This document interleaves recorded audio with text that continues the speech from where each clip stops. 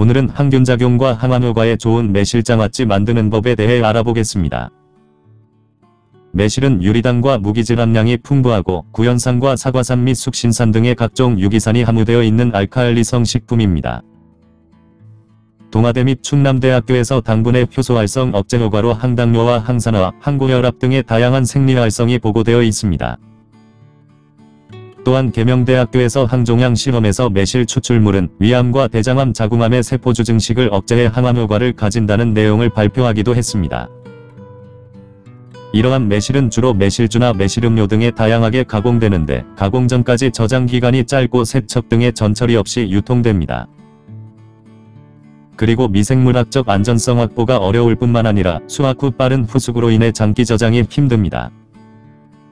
그래서 매실의 저장성을 높이고 다양한 가공식품을 제조하기 위한 방법으로는 당절임과 음식바로 건조 등의 기술이 활용됩니다.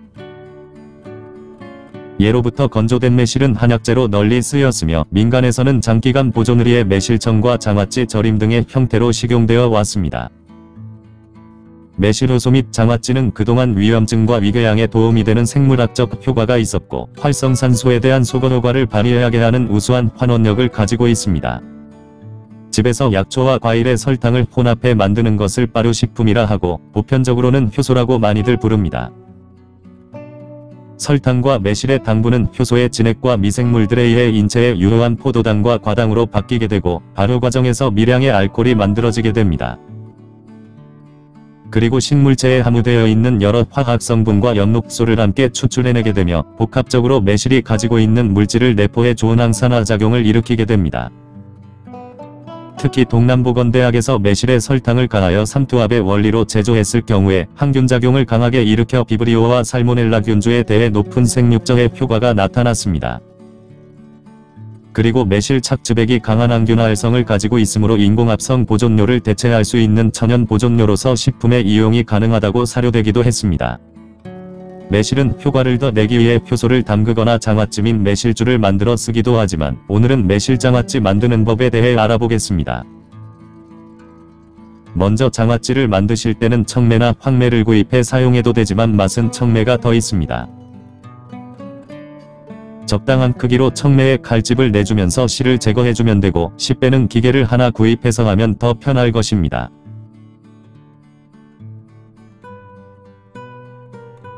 실을 제거한 뒤에는 매실과 육에 설탕과 소금을 각 한 그릇씩 넣어주고 골고루 뒤섞여 주면 됩니다.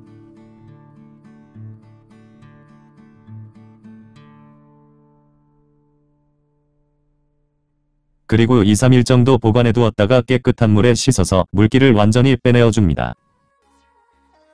그러면 당도가 살아나면서 맛이 훨씬 더 부드럽고 좋아지게 됩니다.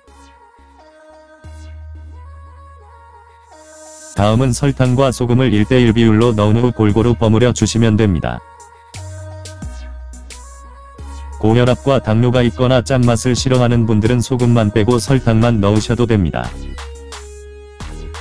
다음은 유리용기에 매실을 차곡차곡 가득 넣어서 비닐로 싸서 뚜껑을 닫아주면 공기가 차단되어 곰팡이가 생기지 않습니다. 숙성은 일반적으로 3개월 정도 하면 되지만 이렇게 만들면 한 달 내에 식용할 수 있고 보관은 김치냉장고나 서늘한 곳에 두면 되겠습니다. 매실에는 독성물질인 비소가 함유되어 있기 때문에 씨알이 아직 여물지 않은 것은 피하는 게 바람직하고 씨는 먹으면 안 됩니다.